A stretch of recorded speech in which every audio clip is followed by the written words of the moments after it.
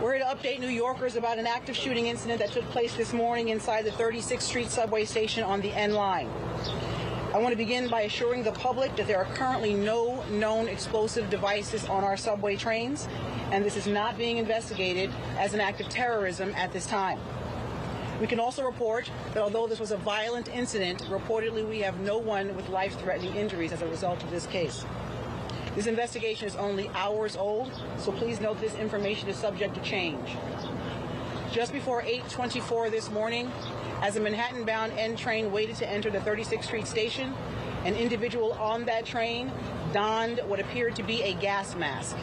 He then took a canister out of his bag and opened it. The train at that time began to fill with smoke. He then opened fire, striking multiple people on the subway and in the platform.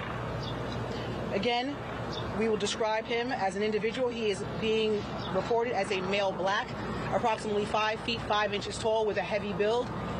He was wearing a green construction type vest and a hooded sweatshirt. The color is gray. At this time, we are working with our federal partners where we are asking for the public's help.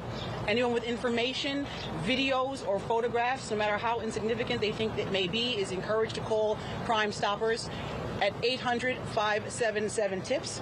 All calls are strictly confidential.